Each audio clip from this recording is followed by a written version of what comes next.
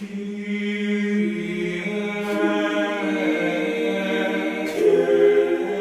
I'm Father Joseph Mary, and welcome back to A Simple Word, where we reflect on the gospel for the coming Sunday. One day, a teenage boy, the son of a single mother, lost his glasses while he was playing basketball.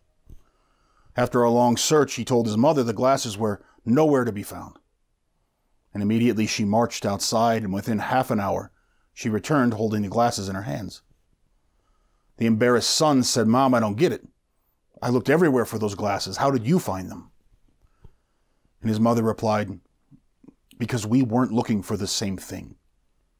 You were looking for a pair of glasses. I was looking for the $300 we can't afford. Motivation determines a lot in our lives. Looking at the world today, it's easy to see what motivates many people the desire for power, the accumulation of money and material things, the pursuit of pleasure, even the need for security. And none of these things are necessarily bad in and of themselves, but they can never become our treasure. In Sunday's Gospel, Jesus continues with the string of parables that we've heard the last few Sundays. In the parables from this Sunday's Gospel, Jesus is teaching us about motivation. He begins by saying, The kingdom of heaven is like a treasure buried in a field. This is an expression unique to Matthew's gospel. Both Mark and Luke use the phrase kingdom of God. But Matthew uses kingdom of heaven because he's writing specifically to a Jewish audience, and the Jews so revered God's name, they don't dare speak it aloud. The kingdom of heaven. What comes to, to mind when you hear those words? I asked that same question to the teenagers in our youth group last Friday. And they said, pearly gates, a beautiful castle, clouds, bright light, deceased relatives, and hovering angels. They had very vivid images of the kingdom of heaven. Maybe we might share some of those images. But what came to the mind of a first century Jew when he heard that phrase, kingdom of heaven? Because it was a very different image altogether. For centuries, the Jewish people had been enslaved by one empire after another, forced into hard labor and levied with heavy taxes. Their incredible temple in Jerusalem had twice been desecrated and destroyed, and there was no longer a king to rule. Yet, despite all their hardships, a single hope carried them through their sufferings the Messiah, the Christ. The prophets foretold that when the Christ came, he would rouse his people and crush the enemies of Israel. More importantly, he would restore the ancient kingdom, and all would be as it was when King David sat upon the throne and reigned over a free and prosperous people. So when a first century Jew heard kingdom of heaven, one thing came to mind a return to the golden age of Israel. And so here we have it. Two very different groups of people from two very different times and cultures, from two very different under, with two very different understandings of kingdom of heaven. Our youth group, perhaps like some of us, were looking into the future at some shining kingdom in the clouds, a reality beyond earthly life, while the Jews were looking into the past at a memory of what had once been. But there's a serious problem here because when Jesus Christ came proclaiming the kingdom of heaven, he wasn't talking about either one of these. The kingdom of heaven was the focal point of his teaching, his main message, the subject of the sentence. And it went right over the head of the Jews who heard him. And I think very often it goes right over our heads too. So, what did Jesus mean when he spoke of the kingdom of heaven? The three parables in Sunday's gospel help us to understand better. In the first parable, Jesus describes the kingdom of heaven as a treasure buried in a field. Now, a man found this treasure, then buried it again, and he sold all that he had in order to buy the field. In first century Palestine, wealthy people stored their treasures in vaults guarded by soldiers. These were the first banks. But for everyone else, what protection was there against thieves?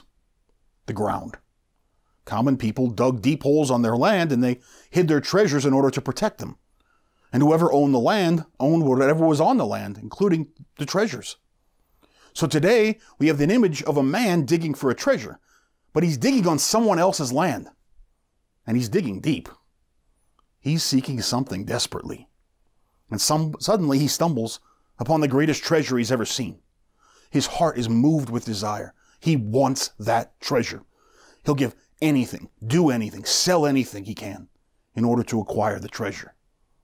So he buries it again, and he goes to purchase the land in order to obtain the treasure. Jesus continues, the kingdom of heaven is like a merchant in search of fine pearls. And at first glance, it seems that the fine pearls is the image of the kingdom of heaven. But that's not what Jesus says. He says the kingdom of heaven is like the merchant who is searching. Here, the kingdom is not an object being sought, but an active force within the person himself. It's that indescribable yearning, the deepest desire of the human heart, the spirit groaning with words too deep for understanding. In both parables, the man sells all that he has to obtain the treasure. The kingdom completely reorients his priorities and his focus in life. Think St. Maximilian Kolbe taking the place of a man condemned to die in the Nazi death camp. Think Mother Teresa, who left a comfortable life teaching children to care for the poorest of the poor in the slums of Calcutta. Think St. Francis of Assisi, who rejected a life of luxury to care for poor people and lepers. Both parables elicit a profound decision in the heart of man. Jesus is telling us something crucial about the kingdom. It's now. It's not some glorious remembrance from the past. It's not just a mystery beyond death. It's now. And there's an urgency to respond. In Italy, on the final day of World War II, the Allied troops discovered storerooms filled with food and supplies left behind by the German army. In a flash, news reached nearby villages and people came racing to obtain whatever they could. They didn't want to miss out. Some went home with wheelbarrows full of bread, others carrying blocks of cheese and blankets. Jesus is saying something similar to us. There's a treasure being offered, a precious pearl. What are you waiting for? Why is Jesus speaking with such urgency? He tells us in the final parable. The kingdom of heaven is like a net thrown into the sea, which collects fish of every kind. When the apostles went fishing, they used a net called a sagene in Greek, a drag net.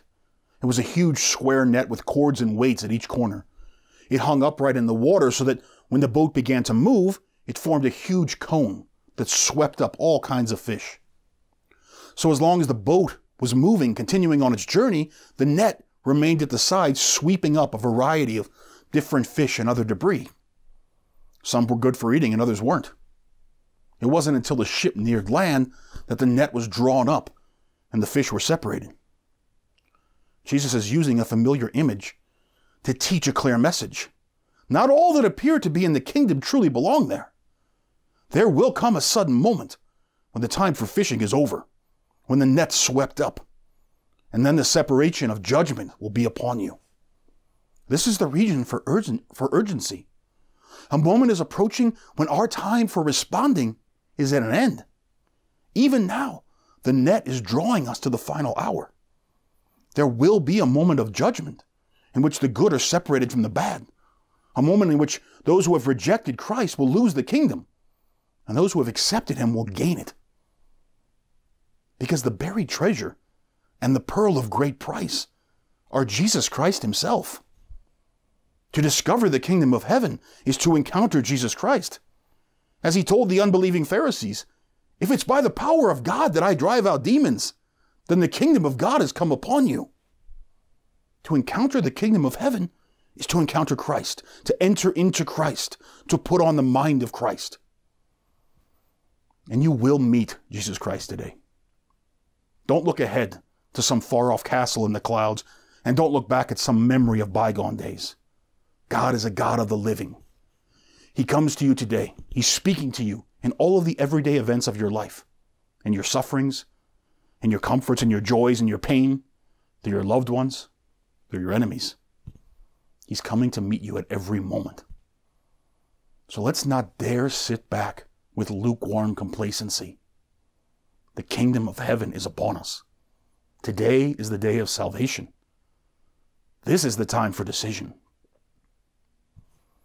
There's a story told among the desert fathers of Abba Lot, who one day went to see the aged Abba Joseph, and he said to him, Abba, as far as I can, I recite my readings, I fast a little, I spend some time in prayer, I live in peace, I try to purify my thoughts. What else is there for me to do? And in response, the aged Abba Joseph stood up and he stretched his hands toward heaven. His fingers became like ten lamps of fire. And he said, If you would, you could become all flame. This is the response Jesus is seeking from each one of us. I'm Father Joseph Mary, and thanks for listening to A Simple Word. If you found this reflection helpful, please be sure to like, share, and subscribe, and we'll see you next time.